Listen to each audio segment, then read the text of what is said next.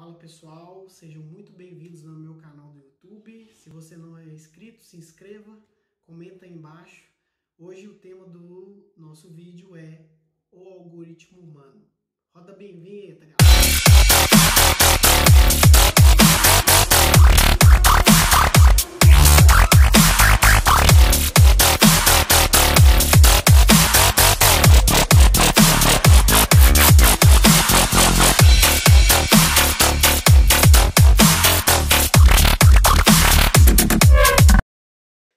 Pessoal, o tema de hoje é para falar sobre o algoritmo humano. Sim, nós somos os algoritmos, como Spotify, YouTube, como Instagram.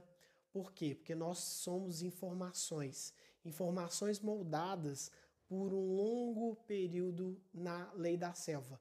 A lei da selva, gente, exatamente, a lei da selva uh, moldou o nosso cérebro durante anos, séculos, e hoje, ainda bem que nós não estamos mais sobre a lei da selva, mas ela nos moldou por muitos e muitos anos. E a lei da selva, pessoal, tem uma regra muito básica e muito interessante, que é a questão da do primeira linha de código, que é o seguinte: sobreviva e passe os seus uh, o seu material genético para frente. E esse processo é muito interessante que criou na gente vários mecanismos. E eu gosto sempre de citar uma teoria, ela é um pouco romântica de fato, que é a teoria do Paul MacLean, é, que é a teoria do cérebro trino, que explica de uma forma romântica como que a lei da selva nos moldou, sendo que, segundo o Paul MacLean, esse neurocientista, ele defende que a gente tem no nosso cérebro três porções, sendo a porção mais inferior, a porção reptiliana, uh, visceral, que é responsável por, é, pelo instinto, sobrevivência, autopreservação e a questão sexual. Enquanto que no nível acima a gente tem o cérebro límbico, que é um cérebro baseado nas emoções, no sentir, e no terceiro nível, que é a porção do cérebro responsável por tirar a gente do, da lei da selva, que é o neocórtex, que é responsável por raciocínio, fazer juízo. É, o Paul MacLean trouxe uma questão muito interessante, porque de fato todas essas informações estão aí no seu cérebro e que em função desse período de pandemia a gente realmente é, tem demonstrado muito desses, dessas porções cerebrais. Mesmo sendo uma forma bem romântica, é muito interessante compartilhar isso com vocês, uh, porque faz muito sentido. É, tanto é que essa teoria ela se comunica muito bem com a pirâmide de necessidade Maslow, que é uma pirâmide que demonstra necessidades humanas, sendo que nos dois níveis abaixo a gente tem necessidade biológica e necessidade de segurança, que tem a ver com questões como água, sono, comida, segurança familiar, e tem a ver com o cérebro reptiliano, que é um cérebro que tem como foco a sobrevivência e a passagem do seu material genético.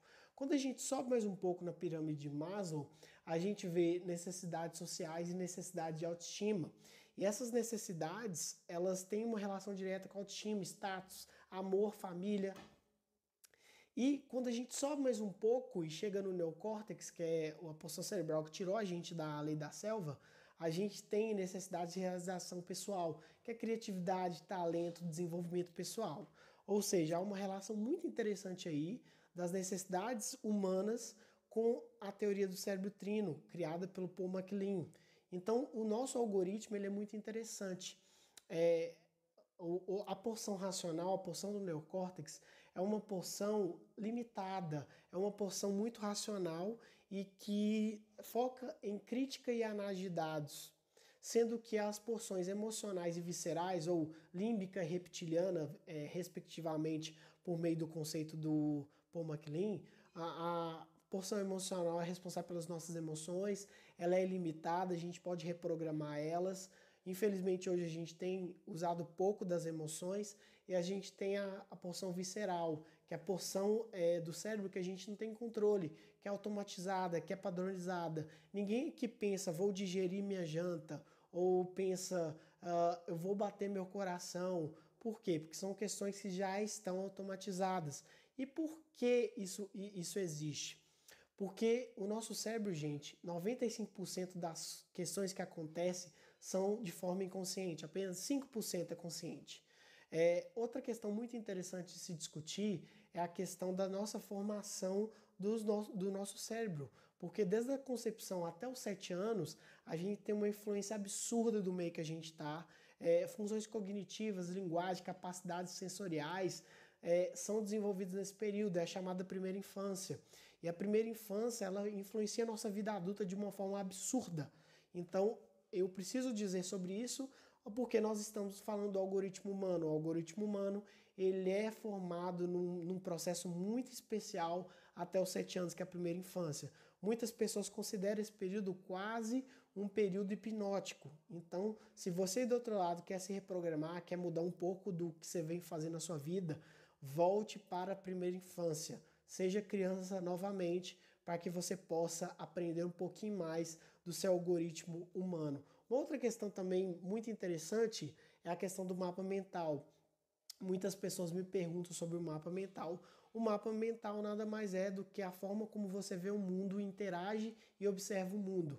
E aí você traz experiências, sentimentos, requisitos, é, é, conhecimentos.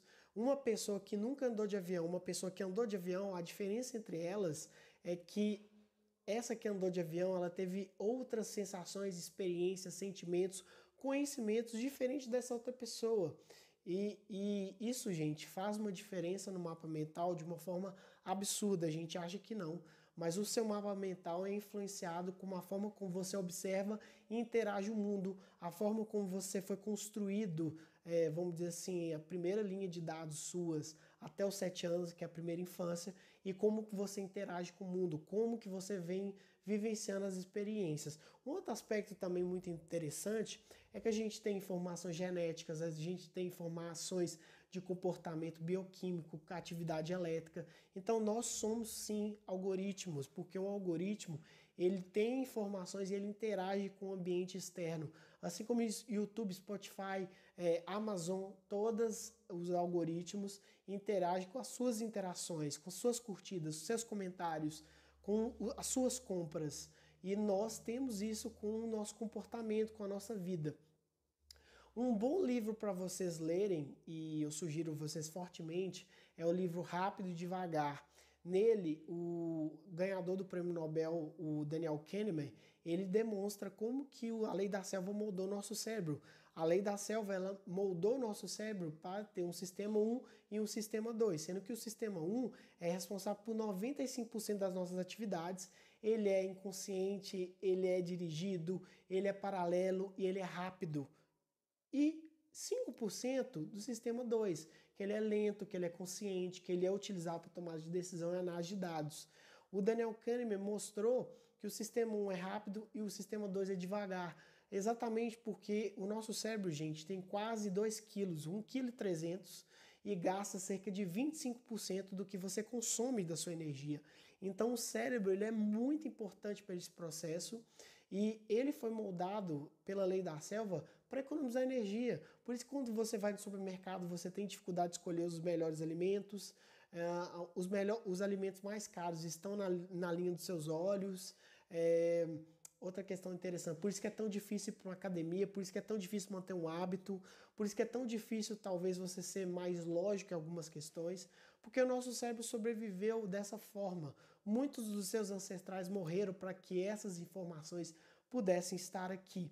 Então nós somos algoritmos sim.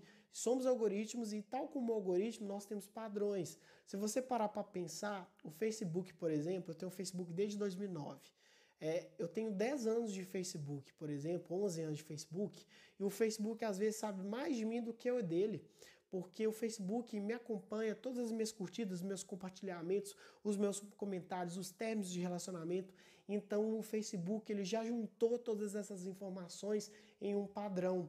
E nós temos padrões de comportamento que a gente utiliza na nossa vida pessoal, profissional. Outra questão também, por que, que a gente é algoritmo? A gente tem a neurogênese a neuroplasticidade. Neurogênese essa capacidade do cérebro de criar novas células, e neuroplasticidade é a capacidade de se adaptar a novos cenários.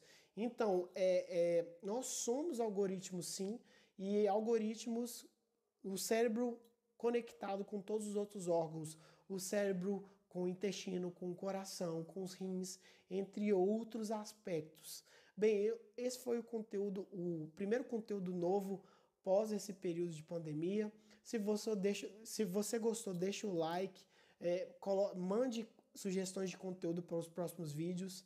É, eu pretendo fazer conteúdo, pelo menos um conteúdo por semana para vocês. Um grande abraço e seja bem-vindo ao modo beta. Valeu!